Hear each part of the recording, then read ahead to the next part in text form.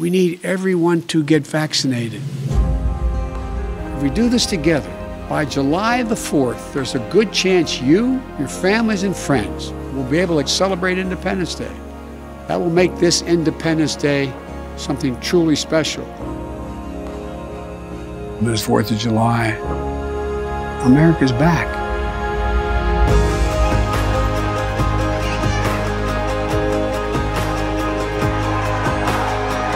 When I got vaccinated, the first thing on my mind was I can finally see my friends and go out to dinner. We feel more comfortable taking our children out and about. See my family. Hugging my grandchildren again. Hang out together, being fully vaccinated. Being vaccinated means I can walk at my college graduation. I was able to marry the girl of my dreams. I'm looking forward to welcoming people back into my business going to the movie theaters. There's nothing that quite beats live music. Attend a summer baseball game in person. Traveling. Went out into Oregon wine country. Just got back from a trip to Maine.